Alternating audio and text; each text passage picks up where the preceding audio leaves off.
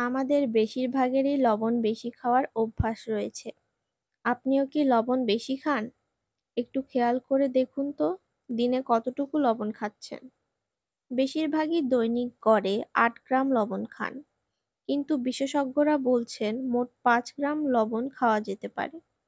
এর বেশি লবণ খাওয়া মোটেই কোনো কাজের কথা নয়। আপনি যদি অতিরিক্ত লবণ খান, তাহলে রক্তচাপ বেড়ে যেতে পারে।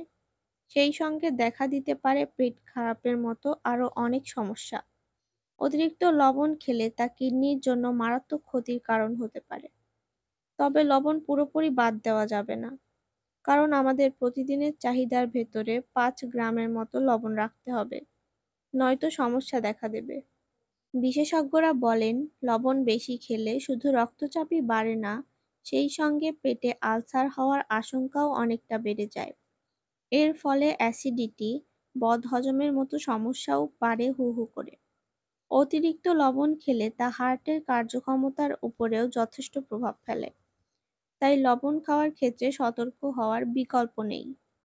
আমাদের কিডনির কাজ হলো রক্তের ক্ষতিকর দূষিত পদার্থ ছেঁকে বের করে দেওয়া।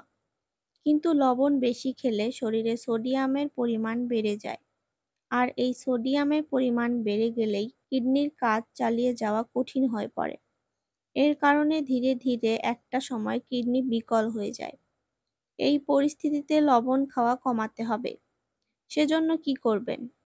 বিশেষজ্ঞরা বলছেন, সুস্থ থাকা এবং রক্তচাপ ও কিডনির সমস্যা থেকে বাঁচতে চাইলে শুরুতেই লবণ খাওয়ার উপরে নিয়ন্ত্রণ আনতে হবে। সেই সঙ্গে প্রতিদিনের খাবারের তালিকা থেকে বাদ দিতে হবে সব ধরনের প্রক্রিয়াজাত খাবার। কারণ এ ধরনের খাবারে লবণের পরিমাণ অনেক বেশি থাকে। এর ফলে অজান্তেই আমাদের শরীরে অনেকটা লবণ প্রবেশ করে, যা পরবর্তীতে ক্ষতির কারণ হয়ে দাঁড়ায়।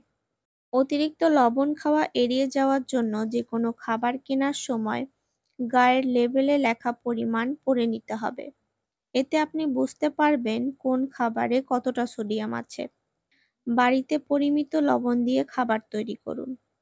বাইরের খাবার সব সময় এড়িয়ে চলবেন। এতে শরীরে কম সোডিয়াম প্রবেশ করবে, ফলে সুস্থ থাকা সহজ হবে তাহলে ভিউয়ার্স, এই তো ছিল আজকের মতো। আশা করি ভিডিওটি আপনাদের অনেক কাজে আসবে। ভিডিওটি ভালো লাগলে অবশ্যই লাইক, কমেন্ট এবং শেয়ার করবেন। তাহলে আজকের মতো এখানেই বিদায় নিচ্ছি। সবাই ভালো থাকবেন সুস্থ থাকবেন। আল্লাহ হাফেজ।